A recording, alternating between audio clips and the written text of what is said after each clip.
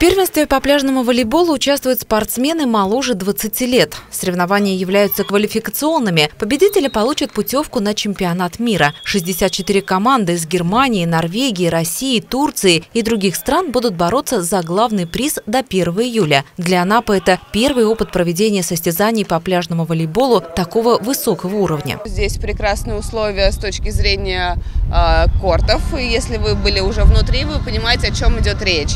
А, и также здесь прекрасные условия погодные, прекрасная база, и здесь все замечательно. Имена победителей станут известны 1 июля. По словам организаторов, у россиян есть все шансы на победу, ведь уже в первый день наши волейболисты выбились в лидеры первенства. В следующие выходные Анапа вновь примет гостей со всего мира. Признанные знаменитости, а также восходящие звезды пляжного волейбола примут участие в этапе мирового тура.